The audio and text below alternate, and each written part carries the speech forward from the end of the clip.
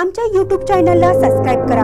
महानकारी news subscribe करा आणि notification on करा. नोटिफिकेशन ऑन केल्यामुळे आमचे अपडेट आपल्यापर्यंत सतत पोहोचेल. सेंद्रिय खताचा वापर करा. केवळ प्रचार नको प्रसार करा. शिरोळ तालुक्यातील शेतकऱ्यांनी फोडला टाहो. सोसायट्यांना संघाशी जोडायचं संघाचा नफा वाढवण्यासाठी ढीगभर रासायनिक खतं द्यायची आणि शेतकऱ्यांची शेती बर्बाद करायची आणि कारखान्याच्या मळीला भाव मिळावा सेंद्रिय शेतीचं नातं जोडायचं हे थोडं बंद झालं पाहिजे अशा प्रतिक्रिया शेतकऱ्यांच्या आहेत. शिरोळ तालुक्यात अकराशे एकर जमीन पूर्णपणे क्षारपड झाली आहे. रासायनिक खतांचा आणि पाण्याचा मोठा वापर यामुळे जमीन नापीक होत चालली आहे. भाजीपाला ऊस हरभरा गहू ही पिकं घेण्यासाठी रासायनिक खतांचा सध्या मोठ्या प्रमाणात वापर होतोय. मात्र काही शेतकरी म्हणतात प्रचारापेक्षा प्रसार चांगला असायला हवा.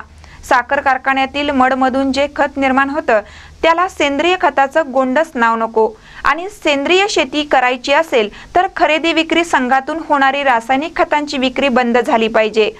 तर काही शेतकरी या लबाडीला बळी न पडता सेंद्रिय शेतीकडे वळत आहे. महानकर न्यूजसाठी गौरवाडहून मोहन जमादार.